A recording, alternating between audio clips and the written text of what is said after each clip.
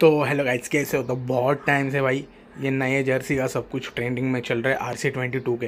तो ये जहाँ पे इंडिया का नया जर्सी दिख रहा है आपको, ये दिखने में ऑस्ट्रेलिया का भी दिख रहा है। तो ये सब देखने में तो बहुत अच्छा लग रहा है। हर एक टीम का आपको जर्सी पैक मिलेगा। वो जर्सी का पैक और लिंक मेरे पास भी है, मुझे किसी ने दिया था।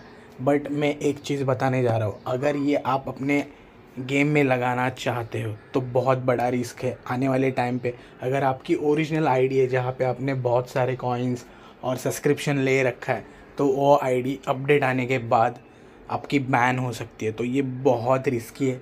अगर करना है आपको तो देखो, खेलने में तो मज़ा आता है। नया टूर्नामेंट नया जर्सी आगे आने वाले टाइम में वो जो कर रहा है, वो बहुत सारी नई चीज़ें भी लाएगा। बट देखो, आपके गेम पे या आपके आईडी पे, या हार्मफुल हो सकता है। आगे आने वाले टाइम में आपको बहुत बहुत मुश्किलों का सामना करना पड़ सकता है, जहाँ पे आपने जो जीमेल आईडी से, जो आईडी अपन खेलते हैं ओरिजिनली वो आईडी से आपने बहुत सारे टिकट्स बहुत सारे शॉट्स ले रखे हैं।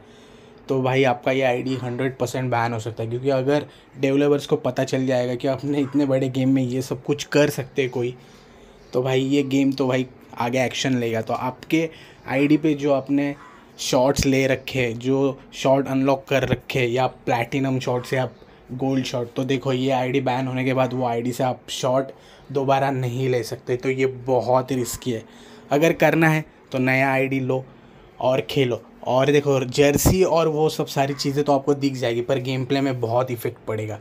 क्योंकि देखो गाइज़ गेम प्ले आपको जो ओरिजिनली आप जो ईमेल आईडी से खेलते हो जहाँ पे जो आपने शॉर्ट्स अनलॉक करके रखे, वो आपको खेलने को नहीं मिलेगा। तो दूसरे आईडी से सिर्फ़ आपको जर्सी मिलेगी और बाकी कुछ नहीं मिलेगा। तो भाई जो भी करना है, आपके ऊपर है, आपकी मर्ज़ी।